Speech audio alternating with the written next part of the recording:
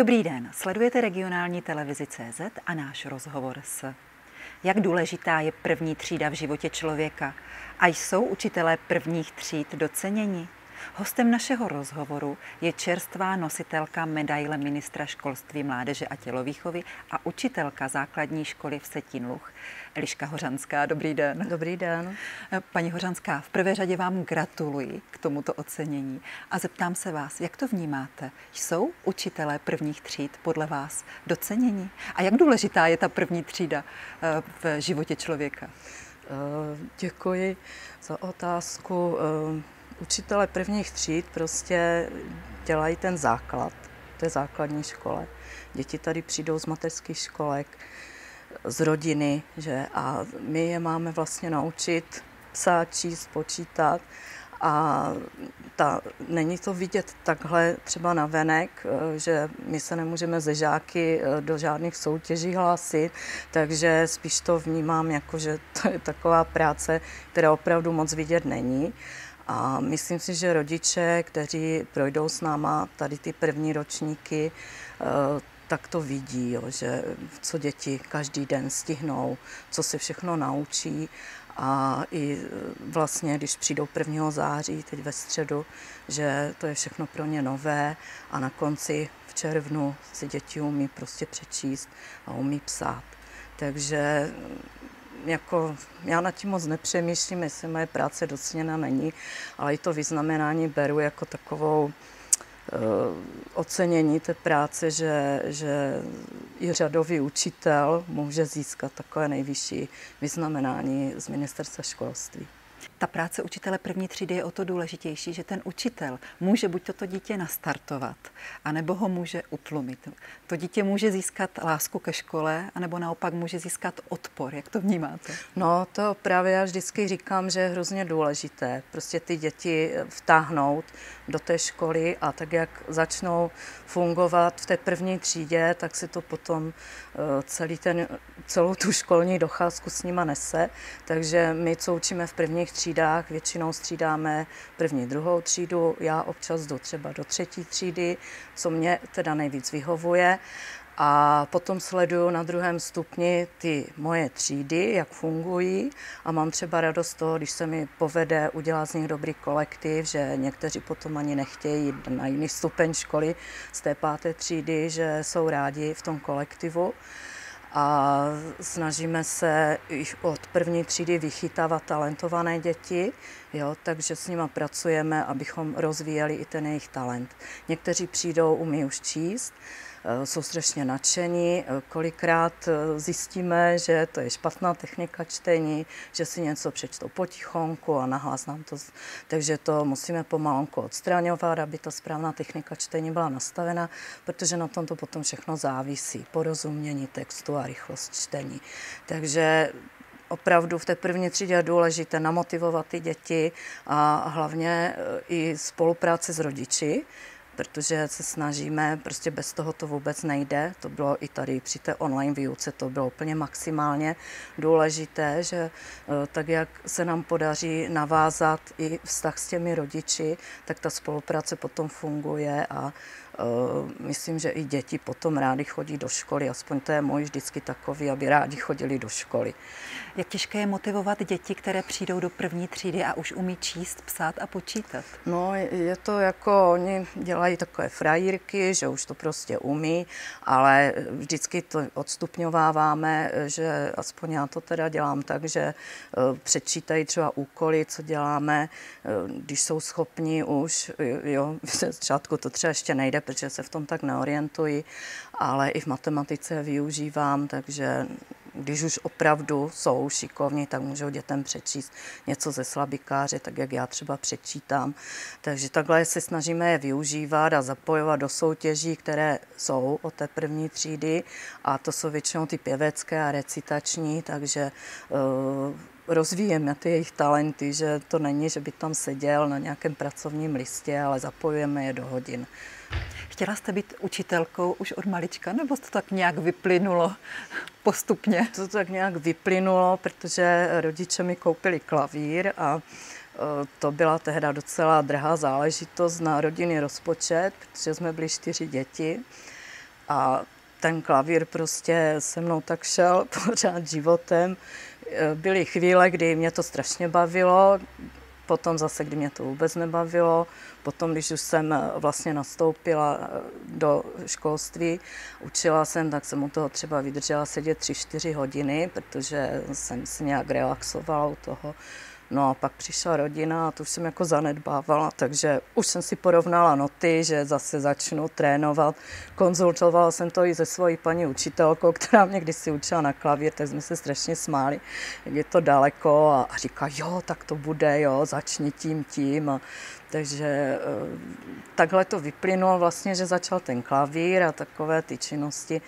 Pak jsem šla na gymnázium a z gymnázia vlastně, i když jsem třeba si říkala, že půjdu na něco jiného, ale uh, byla jsem třetí v rodině, kdo šel na vysokou školu a prostě rodiče už to nemohli platit a tehda bylo nedostatek učitelů, že nastoupili děti z těch silných ročníků, takže uh, učitelství prvního stupně bylo velmi preferovaný obor a měli jsme tam zvýhodněné stipendia když měl někdo nárok na sociální nějaký příplatek, tak poskočil do té vyšší skupiny, takže mě to na tehdejší dobu dělalo 8 stovek a ještě za zkoušky, které byly do průměru dva, což bylo teda, jako to bylo úplně se dalo udělat, tak za to jsme měli vždycky tisíc korun za splněné ty zkoušky. Takže takhle jsme byli motivovaní a, a spousta lidí toho využilo, že vlastně já jsem studovala za svoje, kromě září, kdy rodiče museli zaplatit nějaké koleje a dát mi něco, než se to vyřídilo všechno.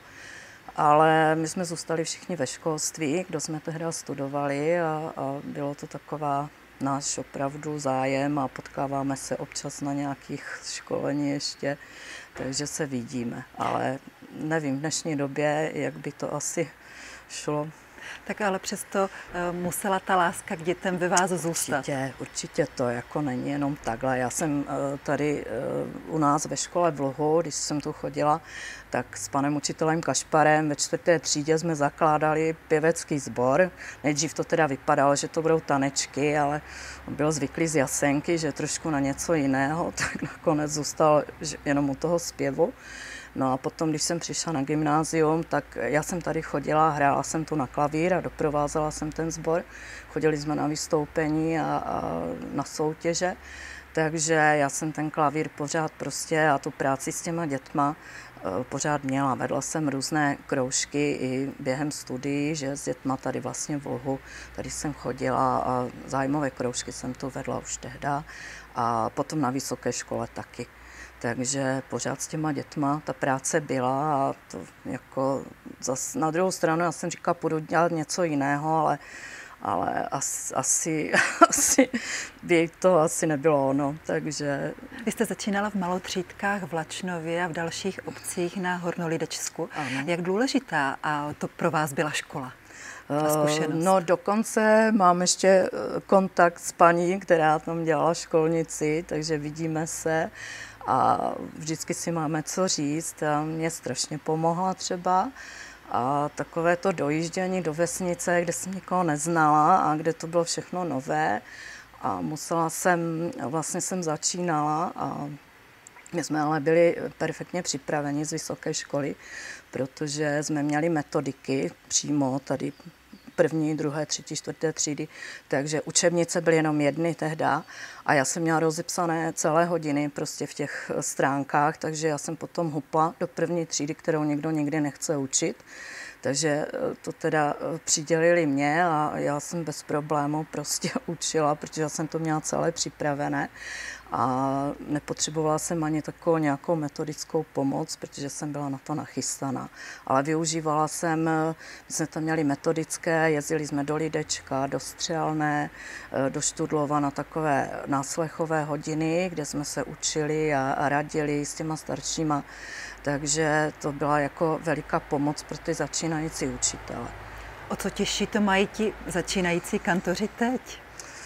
No, tak já jako Nevím, protože tady eh, zatím nikdo takový přímo po škole nepřišel a když, tak třeba já jsem se s ním nesetkala, nebo byl na druhém stupni, ale já si myslím, že tohle to hrozně chybí, jo? Ta, ta metodická pomoc a, a mm, zase je otázka, nakolik jsou přístupní poslouchat i starší učitele, protože všude kolem sebe slyšíte nové metody, nové metody. Ono je to hezké, ale v té první třídě tam prostě eh, můžete využívat nové metody, ale ten základ prostě je pořád stejný, že ty děti se musí naučit psát, či spočítat. Jo, a byly i takové tendence, nové písmo, to si myslím, že docela vyhaslo, protože se mě i rodiče třeba na to ptali, Comenius a podobně. Já ze zkušenosti, kdy píšu celý život tabule, jsem říkala, pro mě nejhorší psaní malého tiskacího písma, což ten Comenius je. Jo? Takže myslím, že to tak vyšumělo docela. Opravdu v té první třídě ten základ je, je prostě uh, ověřený a samozřejmě zařazujeme nové prvky, že ale takové to, ta metodická, to, to postupy, ty postupy, to prostě to nejde zase nějak vyměnit extra, přeměnit to, převrátit to úplně na ruby. Vy jste v, ve školství už téměř 40 let. Vy jste vytvořila i řadu výukových sad pro první a druhý ročník, takže jste velmi zkušenou kantorkou. Na druhou stranu určitě si uvědomujete, že jste i udělala v té své kariéře řadu chyb. E, jsou některé, které si uvědomujete a které byste ráda zmínila, abyste třeba ti mladí začínající kantoři těch chyb vyvarovali? Teď nevím, si nespomíná zrovna na nějaké ale tak určitě nějaké chyby jsou a pořád člověk přemýšlí, jestli něco udělal dobře, jestli něco řekl dobře, když třeba eh, je taková zpětná vazba od rodičů, že a něco řešíme, eh, kolikrát dojde k nedorozumění a to dojde vždycky, že děti něco doma interpretují a samozřejmě zjistíte, že to je úplně nějak jinak, než to bylo, jo, takže tam je zase třeba důležitá ta spolupráce s těmi rodiči a jsme v kontaktu i s maily, teď to bylo úplně maximum při online výuce, kdy jsme se vlastně setkávali jenom takhle. Takže tak to na nějaké takové závažné si nespomínám. Co byste poradila mladým začínajícím kantorům, aby se skutečně stali kvalitními pedagogy?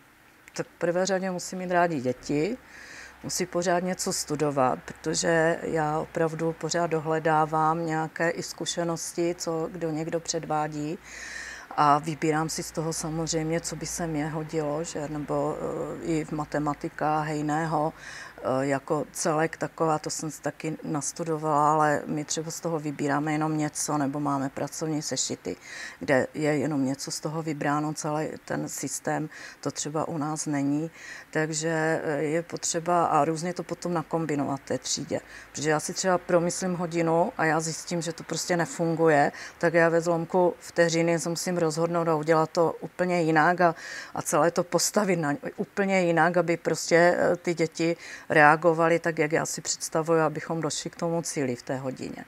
Takže eh, je to mnou, o kreativitě. Je se mnou třeba kolikrát je těžko i v osobním životě na nějaké, protože já si něco promyslím a já to druhý den změním, protože zjistím, že to není ono a udělám to třeba všechno jinak. Jo? Takže Eh, je to pořád o té kreativitě no, a zkušenosti. A...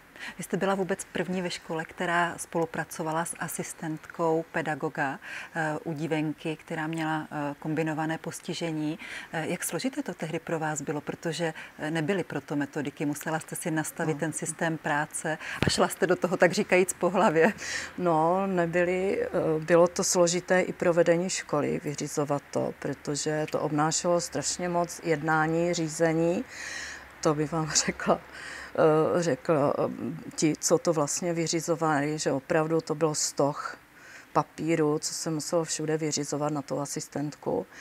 A já jsem prostě celé prázdniny někde dohledávala informace. Byla jsem v centru pro zrakově postižené v, ve Zlíně. Eh, tam mi dali nějaké informace, naučil mě pracovat s lupou, Eh, která teda byla v té třídě celou tu dobu výuky, kdy ta divenka k nám chodila. A eh, dali mě takové rady organizační a já jsem si zjistila, že mě to nevyhovuje. Třeba, že dítě má být vzadu a oddělené. Já jsem mi chtěla vtáhnout vlastně do té třídy, takže jsem mi měla naopak vpředu. A udělal jsem strašně dobře, protože jsou chvíle, kdy ten asistent třeba chybí, je nemocný, nebo Eh, má svoje dítko nemocné a není vždycky tolik lidí, aby zaskočili, takže ten učitel je tam sám v té třídě a já jsem si tam musela nastavit nějaké eh, prostě zvyky, a, a, aby to prostě fungovalo a já bych nešidila ani to, to dítě, které má ty limity zdravotní, ale ani ty ostatní, ani ty nadané, takže prostě jsem to tak musela všechno propojit. A holčička si myslím, že to zvládla, protože tady od nás vyšla a pokračovala ve studiu, takže jsme to postupně si předávali zkušenosti a, a fungovalo to bezvadně. Ještě na závěr se vás zeptám, jak se udržujete v psychické pohodě, abyste do nového školního roku vždycky vstoupila s radostí a elánem? Tak já mám takovou opravdu svoji nastavenou tvrdou psychohygienu, kdy s dnem, kdy rozdám vysvědčení, si všechno ve hlavě vyčistím a vygumuju a dělám úplně něco jiného přes to, přes to volno a, a potřebuju se opravdu odpočinout, abych já potom mohla celý ten rok fungovat, protože vždycky už od prvního dne snažím naplno teda uh, naskočit, aby to k něčemu bylo a, a opravdu takhle já to dělám, že dělám úplně něco jiného. Co jiného? tak v domečku, pod nějaké takové úpravy, opravy a, a co teda zvládnu Takže samozřejmě. se změníte o prázdninách v řemeslníka. Ano, ano, to jako já se radím samozřejmě a co jsou složitější práce, tak si necháme udělat, ale, ale tak už jsem zvládla dláždění a, a parkety teď dělám, takže, eh, ale samozřejmě to vždycky jenom při chvilkách, že to není jako, že bych někomu fušovala, ale tak si to vždycky nechám od těch odborníků zhodnotit, říkal to ani možné, že jsi to dělala, jo, takže takhle já odpočívám. Dřív jsem hodně šila, pletla, ale prostě tím trpí oči. V volných chvílích maluju několik druhů kreslic, drátuji a z pedigu pletu takové drobnosti a i na veřejnosti jsem to předváděla, ale teď při online výuce opravdu ten zrak strašně trpěl. Akce žádné nebyly navíc, takže to jsem teď trošku upozadila a Dámy a pánové, naším dnešním hostem byla Eliška Hořanská a já vám přeji hodně sil do dalšího školního roku. Děkuji, děkuji za pozvání.